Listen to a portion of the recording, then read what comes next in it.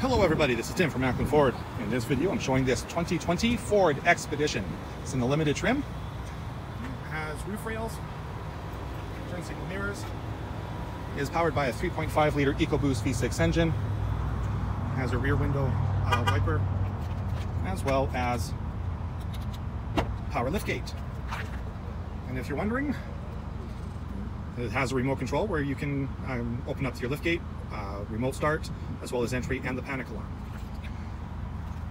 So the, um, the liftgate opens up to reveal a decent area, uh, trunk storage, and you can lift this up to reveal your the equipment that you're going to need to change a tire if you ever need to.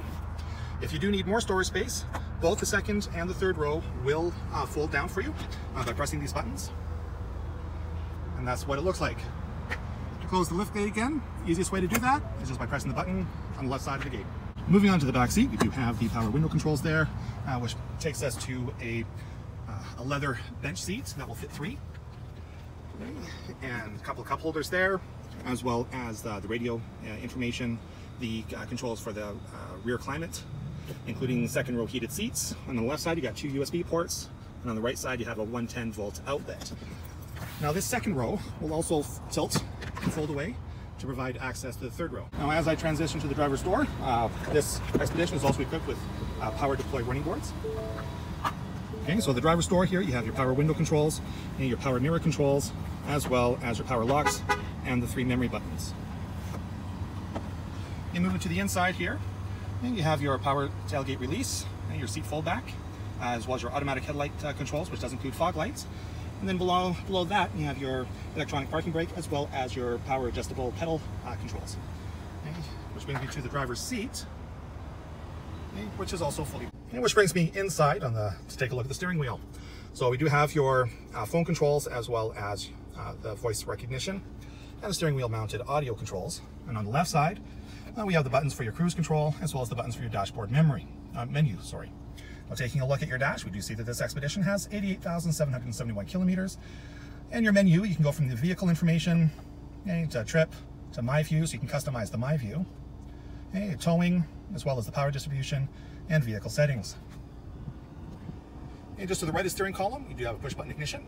And then moving off to the center display screen, the radio does accept sources from AM, FM, Sirius, as well as Bluetooth stereo. And the climate system is accessed from here too, as well as the phone, so you can connect to a phone. Okay, your navigation system, so you don't get lost. And you can have uh, some uh, apps in here as well, as well as vehicle settings, which do include Ford Pass Connect, voice control, Apple CarPlay, 911 assist, valet mode. And this is also where you will see the feed from your backup camera. Okay, now moving right up above, there's this little cubby hole there. Okay, and this Expedition is equipped with a sound system from B&O. Know, just above the screen, we do have some buttons there for your hill descent control, um, your anti-skid um, off, your, has, your hazard light button, your lane assist. And then right below that, you have your physical controls for your uh, radio and your physical controls for your uh, climate as well, which do include both heated and ventilated front seats. Okay, off to the right, you do have a 12 volt outlet. And right below, you have a little cubby hole there. It does have a wireless charge pad as well as two more USB ports. And you can close it up.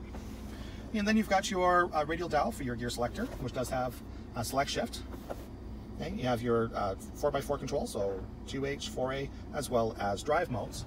So your drive modes, you can go from a normal uh, to grass, gravel, sand, mud, uh, towing, sport, eco, and right back to normal.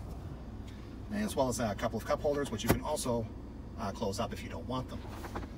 And moving up to your overhead console, there is a little storage area here for some sunglasses, as well as the control buttons for your uh, twin panel moonroof. Thanks for watching. For more information on this expedition, you can give us a call at 587-871-8293 and quote stock number 22EP1059A. You can always come on down in person at 135 Glendeer Circle Southeast. We would love to see you. Have a wonderful day.